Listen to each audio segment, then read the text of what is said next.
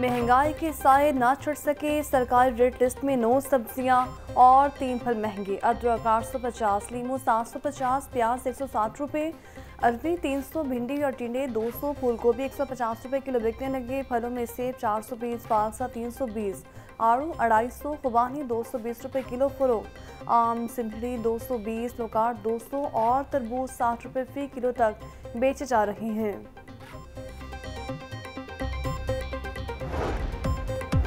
और ब्रॉयलर का गोश्त फिर आवाम की पहुँच से दूर होने लगा। चिकन ग्यारह रुपये महँगा फ़ी किलो कीमत चार सौ चौंतीस रुपये हो गई।